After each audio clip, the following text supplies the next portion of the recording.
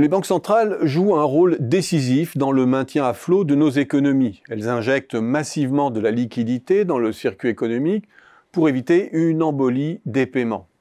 Mais que sait-on véritablement de la destination de cette liquidité? C'est une question à la fois naïve et complexe. Tracer la liquidité est en soi une gageure. La monnaie a vocation à circuler de main en main au gré des transactions.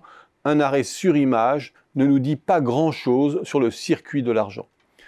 Ce qui nous intéresse ici, c'est de savoir si la liquidité émise par la Banque centrale depuis la crise sanitaire a bien irrigué les transactions réelles.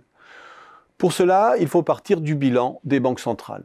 Que recouvre l'assertion? Les banques centrales inondent l'économie de liquidité Cela signifie très concrètement que les banques centrales ont soit acheté massivement des titres sur le marché secondaire, notamment de la dette d'État, détenue par les agents financiers, ou qui les ont pris en pension.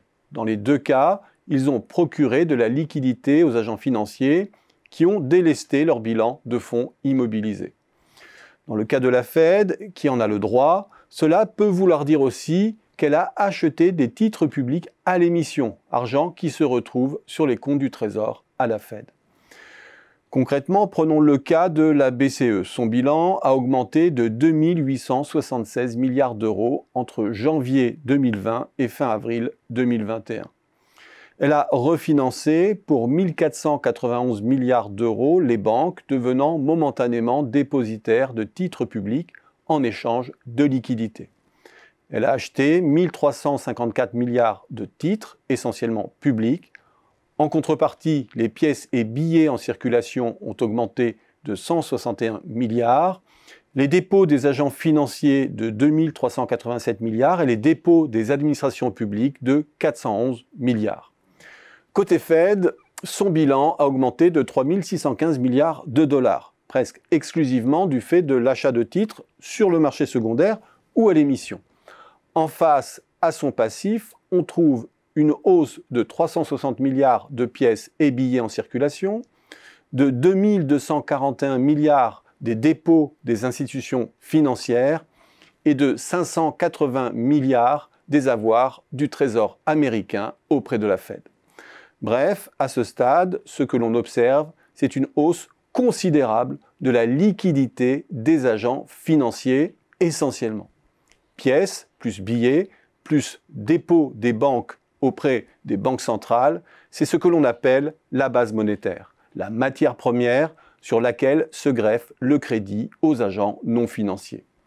En hausse de 81% en zone euro depuis janvier 2020 et de 76% aux États-Unis.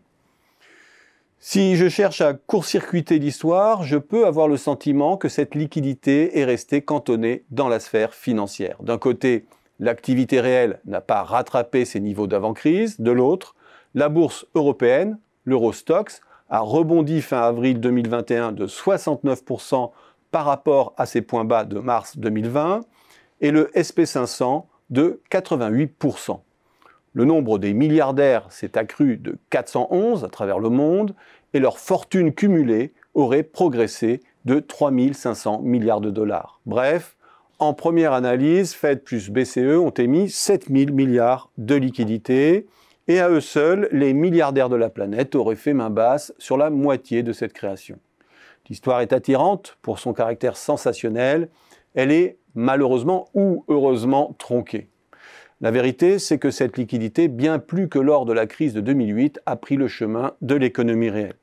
Le crédit à l'économie, d'abord aux États-Unis, a bel et bien permis de transmettre une partie de la liquidité bancaire aux agents privés. On le voit dans l'indicateur de masse monétaire, M2, qui agrège les pièces, billets, comptes à vue et surlivrés détenus par les agents non financiers. M2 a progressé de 13% en zone euro de janvier 2020 à mars 2021 et de 30% aux États-Unis. On est certes très en deçà du potentiel que permet une hausse de la base monétaire de 70 à 80%, notamment en Europe. Mais le canal de l'endettement public, adossé à des chèques aux ménages, à du chômage partiel, à des garanties de crédit aux entreprises, a permis cette fois-ci de faire pénétrer la liquidité au cœur du circuit des échanges privés. Un zoom sur le compte du Trésor américain auprès de la Fed l'illustre parfaitement. La Fed a alimenté la trésorerie de l'État en se portant acquéreuse d'obligations à l'émission. C'est ce que l'on appelle du financement monétaire proscrit en Europe. Et cette encaisse s'écoule maintenant sur les comptes des ménages et des entreprises avec la mise en œuvre des plans de relance successifs. Il n'en reste pas moins que la liquidité des agents financiers croît bien plus vite que la liquidité entre les mains des agents non financiers. C'est un facteur permissif de la hausse des prix d'actifs, avec à la clé des plus-values latentes sur des actifs non liquides au sens strict, mobilier, immobilier, détenus par quelques-uns, et sur lesquels les banques centrales font en sorte que l'on puisse sortir sans risque de perte.